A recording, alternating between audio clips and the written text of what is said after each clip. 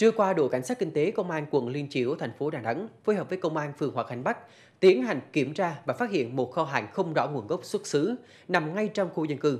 Theo đó, tại số 11 Phạm Văn Đạt, công an quận Liên Chiểu tiến hành kiểm tra kho hàng do bà Nguyễn Thị Cúc làm chủ, phát hiện 25 bao kiện hàng với hơn 1.300 đôi giày dép các loại có nhãn mát in chữ nước ngoài.